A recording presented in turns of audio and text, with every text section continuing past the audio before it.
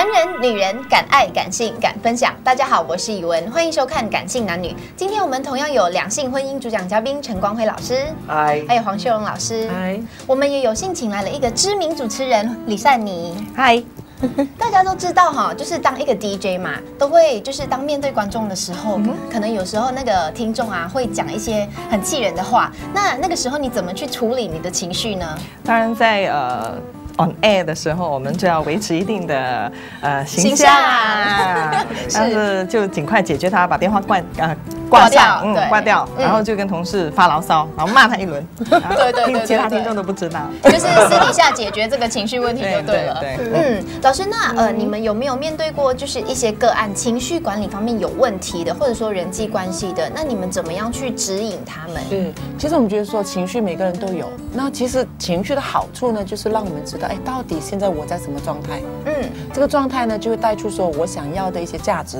比如说，呃，三年呢会会感受到，哎，这个听众怎么这么气人？他可能讲一些话刚好冒犯了，然后呃，像你本身觉得应该有的一些一一些的态度或者是是观念，自然就会生气嘛。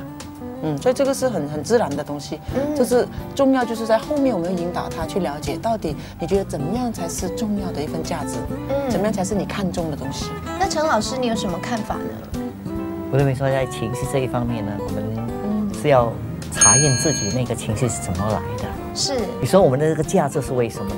有时候你觉得，如果是对方是属于那一种是无理取闹的话，你也不需要为着这个生气吧？嗯啊，你了解说，你清楚了解自己本身做的有意义有价值，是不需要看人家怎么对你的话，我想就比较容易过了。就等于那站在这个心理方面的角度啊，是不是每一次我们有生气啊，我们有高兴啊，就要去检查自己的心理哎是是干干什么？是要是要有些是要检查的，检查之后我们又要再看看，那一我要的效果是什么？有时候变成是一种自动的一种行为的、一种自查的一个力量。对啊了解这个为什么我有这种情绪，那是跟我里面很深层的价值信念是没有关系。那那如果说你已经 OK，你有去 review，你有去找出它是因为什么，可是你怎么样去断定？那我这个原因是对的还是不对的，对不对？好，老师你觉得？嗯，我可以其实应该这样子说，嗯，呃，一件事情的发生不等于你一定要有那个那样的情绪。比如人家对你凶的话，你不一定要是跟他生气回的。然后为什么？因为你认为对你凶，他是冒犯你的话，你认为冒犯你的话，你就会生气。所以应该有 A、B、C。A 呢是对方怎么对你，嗯，那不是决定你要怎么反应 C，而是你怎么去看这个。如果你当时他冒犯你的话，你就会生气了。如果你认为说这个人还无理取闹，那么你一笑置之就没事。